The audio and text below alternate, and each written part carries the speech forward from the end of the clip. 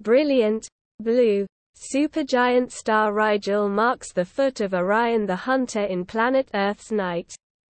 Designated Beta Orionis, it's at the center of this remarkably deep and wide field of view. Some 860 light-years away, Rigel is hotter than the Sun too and extends to about 74 times the solar radius. That's about the size of the orbit of Mercury.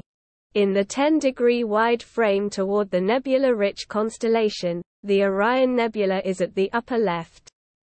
To the right of Rigel and illuminated by its brilliant blue starlight lies the dusty Witch Head Nebula. Rigel is part of a multiple star system, though its companion stars are much fainter.